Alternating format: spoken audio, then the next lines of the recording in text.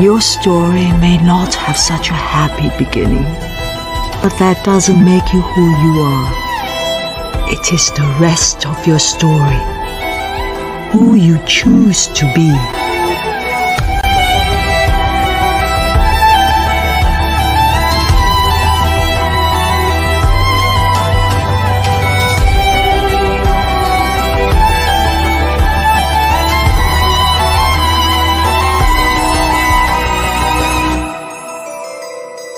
Mm-hmm.